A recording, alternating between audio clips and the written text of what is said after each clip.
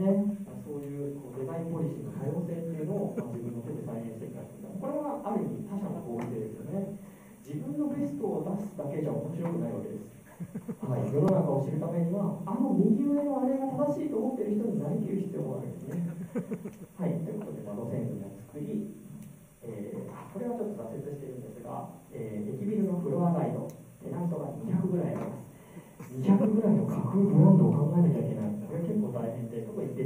パ地下は1つの店舗がちっちゃいので大変です2階とかはできたのかな2階はできてますねはいウィンドウオークスタイルとアイスビー、テンソーコード、エルポイント、MS スミスという、えー、ファッションブランドが入っているんですが、はい、他が全然埋まってないです。はい、っていうフロアがいるです。はい、で、まあ、こんな感じで、都市の細部を、えー、描いていきます。まあ、家の様子、お店の様子、えー、街の様子っていうのを細部を描きまして、地図っていうのは、それらがどこにあるのか、えー、それらが他のところとどうつながっているのかっていう都市の全体像です。このマクロとミクロ街の細部を行き来しながら反数しながら作っていくというのが空想地図です。確かにねその物